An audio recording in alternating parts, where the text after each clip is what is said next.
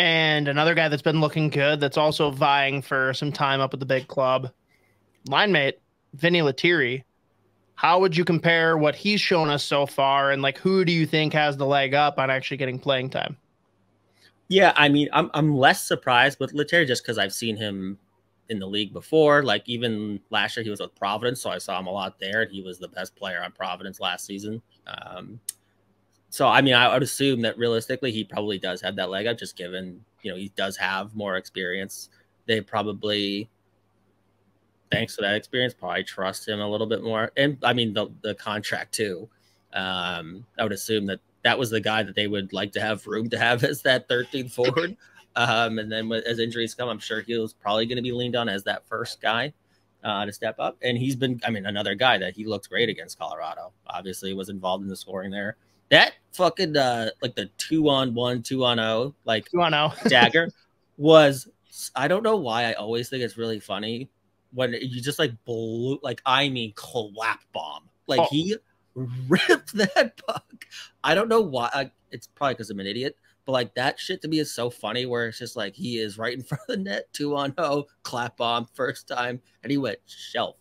Uh, but he deserved a goal that game for sure. He was he was all over the uh, all over the puck mm. in the offensive zone, especially. But um, he's a good player. But another guy that he, he's good enough to play in the league. It's just where he's been. There's been no like window for him to step in. But yeah, um, well, I think that's I mean he's a that's a good 13th forward to have too.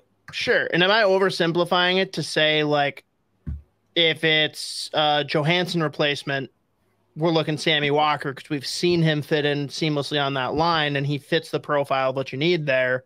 Whereas if we're looking at a bottom six replacement, Vinny Lettieri is going to be looked to first.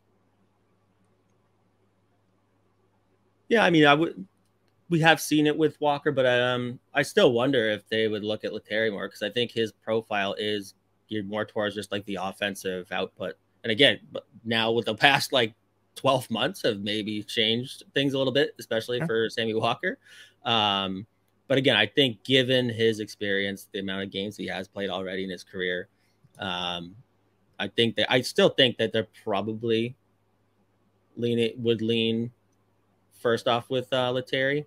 Um, and the contract, again, the contract, yeah, the contract is, is like that helps. It's crazy because like every decision they make, like even with like call ups at this point, just given their cap situation. Like it's funny. It's just it a lot of it has to do with like, all right, well, what's the contract situation, which is crazy. But um I mean another uh, but it's honestly a good problem to have when there's two guys that you could be like, yeah, I would be comfortable with either one of them, like sliding into those into those roles.